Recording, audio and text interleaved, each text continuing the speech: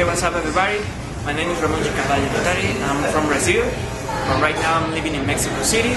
Uh, I want to be the next rich boy because I like the, the concept of the project. It's, it's not a crew, it's not a group, it's more like a family. I want to be part of this family. And I want to be the next rich boy because I dream about it. So if I can dream it, I can do it. So let's go.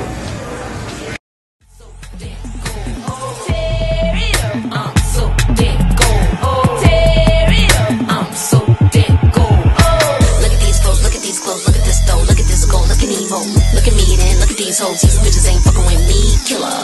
Look at these clothes, look at these clothes, look at this though, look at this gold, look at me mo.